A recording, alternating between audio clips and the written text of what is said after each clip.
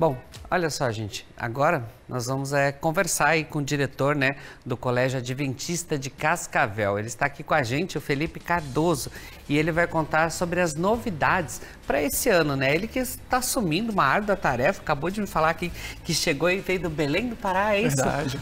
Veio para passar, para trabalhar um pouquinho aqui no oeste do Paraná. É isso mesmo. Uma boa tarde, boa tarde a todos aqueles que estão nos acompanhando.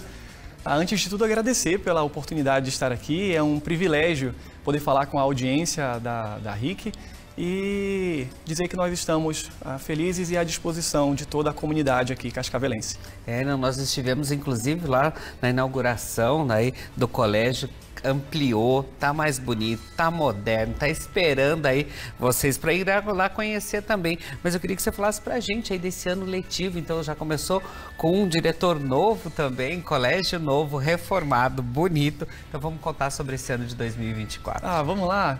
Então, é verdade, nós temos, além de um, de um novo diretor, nós temos um novo colégio, nós temos um novo grupo, nós tivemos um, um crescimento muito expressivo na cidade, né, nessa virada ah, de ano.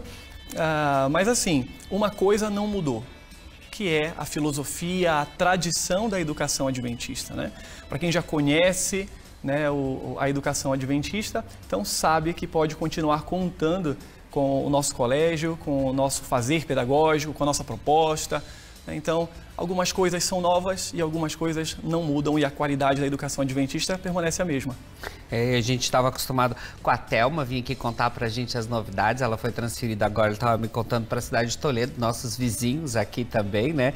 E ele agora tem a, a, tarefa de cuidar aqui a escola de Cascavel. E eu queria que você falasse um pouco das novidades, que no dia da inauguração a gente viu que tem uns espaços novos lá também, onde os alunos podem se encontrar, conversar, interagir também, que era o que estava faltando para a gente aí depois desses dois anos de pandemia, era esse contato, você poder é, interagir, conversar. Eu vi que vocês estavam com peça de teatro também ano passado, a gente falou de música lá do colégio também. Então, isso é importante, esse retorno também, né? É verdade.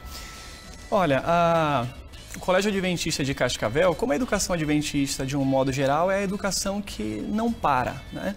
Nós temos assim nos reinventado diante dos desafios que nós temos ah, enfrentado e agora a gente está vindo de um momento de isolamento. Nós temos uma nova vamos dizer assim, uma nova cultura educacional que foi afetada por esse momento e o nosso colégio precisava fazer os investimentos para que o nosso espaço continuasse a ser e agora de uma forma talvez até melhor, mais específica, é, um espaço de socialização onde os nossos alunos possam é, conversar, interagir, ressocializar nessa, nesse momento né, de pós-isolamento, onde a convivência foi afetada e agora nós queremos é, recuperar esse momento. E o, e o, colégio cresceu, certo?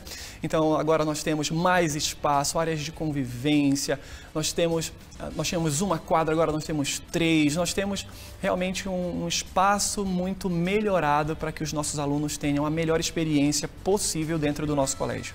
É, inclusive a gente está vendo algumas imagens aí que foi no dia da reinauguração do colégio aí, né? O pessoal cantando, mostrando um pouco do trabalho, as novidades, as salas, os depoimentos mesmo do, dos alunos, né? Olha aí, uma sala nova já. E assim, é, e os projetos aí para esse ano? A gente sabe, ó, essa é a quadra nova aí também do colégio, né? É verdade. A, toda a nossa estrutura, ela, ela foi modernizada, né? Então é, é uma conquista para esse colégio que esse ano completa 65 anos só na cidade. A educação adventista como um todo já vai completar 130 anos no, no Brasil e é muito gostoso falar sobre isso aqui no Paraná porque a educação adventista chegou ao Brasil através do, do Paraná, chegou em Curitiba em 1896. Então, é uma cidade que, a, que faz parte da educação adventista, do berço da, da nossa educação, e a, a sociedade cascavelense precisava né, desse, desse investimento ter uma grande representação da educação adventista aqui no, na cidade de Cascavel.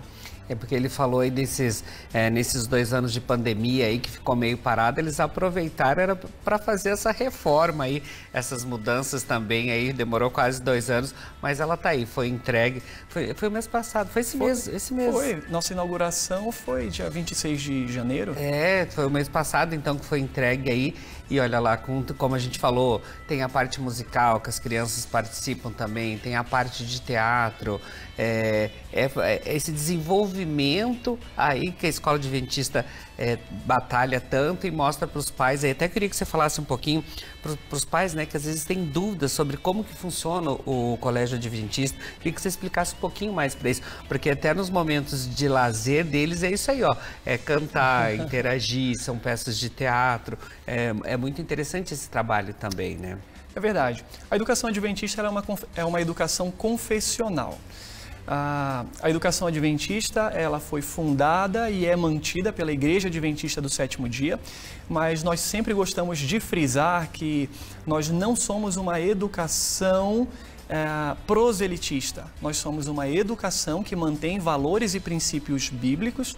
Né? Inclusive, eu acho que é um dado interessante para os espectadores que nos acompanham, que dentro da educação adventista, hoje a nível de Brasil, nós temos uma relação assim, onde 80% dos alunos que compõem a comunidade escolar do, do, nosso colégio não são adventistas do sétimo dia. Né?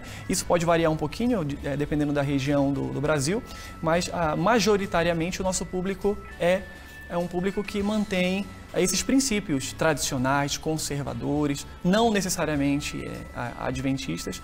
E, e nós temos ah, feito o atendimento dessas famílias que querem unir o que há de melhor no que diz respeito à qualidade educacional, o que há de mais moderno do ponto de vista pedagógico, mas sem abrir mão daquilo que são considerados os valores tradicionais, familiares, né? e, e, é o que nós fazemos dentro da educação adventista. Você, você comentou um pouquinho, perguntou sobre os projetos né, para esse ano.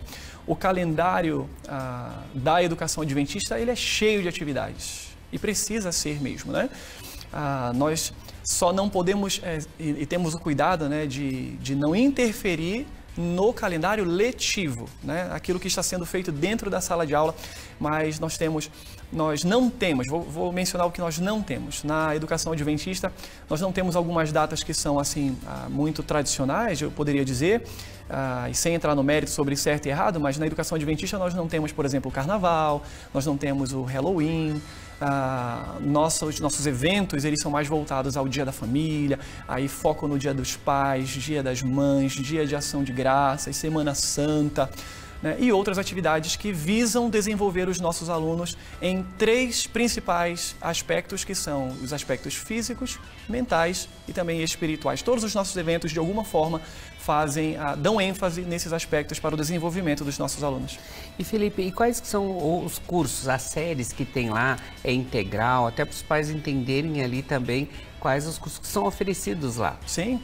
O Colégio Adventista de Cascavel atende alunos desde os dois anos de idade, no, na educação infantil, dois anos, até o terceiro ano do ensino médio, alunos com mais ou menos 17 anos. Né?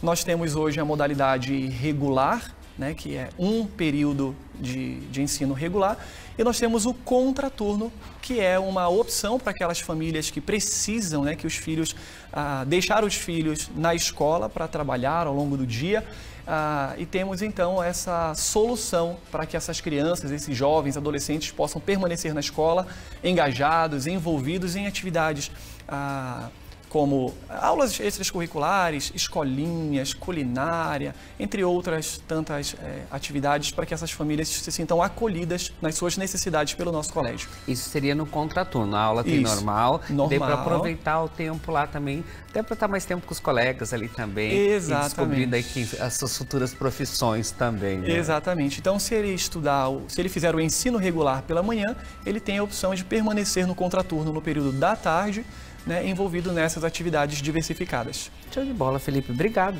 por tirar nossas dúvidas, falar um pouquinho aí do Colégio Adventista também. Como a gente falou antes, a Thelma vinha aqui com a gente, foi transferido, mas agora a gente vai receber mais vezes Felipe aqui também, né? O pessoal de Toledo pode conhecer a escola lá também, que é linda, que eu já estive lá com eles também. É uma escola muito bonita. Gratidão, obrigado, bom Obrigado a você, até a próxima.